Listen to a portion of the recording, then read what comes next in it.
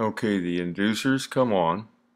We're looking at the uh, hot surface igniter. That's the uh, inducer fan. Now back to the hot surface igniter. It should start glowing here pretty soon.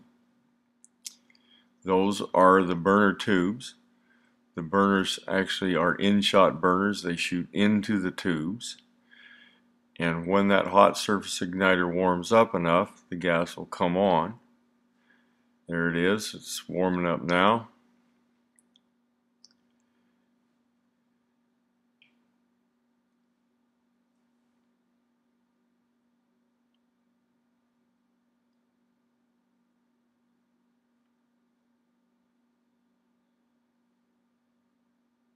And there's your flame rod again.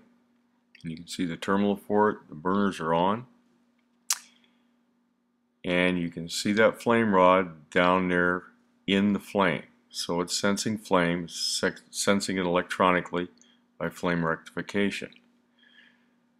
Uh, the inducer draws the uh, gases in through those tubes, and they're just uh, uh round tubes, and uh, they uh, comprise the heat exchanger of the furnace. Right there is the uh, nozzles that shoot the gas out. They're called gas orifices. And primary air is drawn in around the sides. Okay, if at any time the uh, flame does not reach the flame rod, then the flame rod signals the ignition control that there is no flame.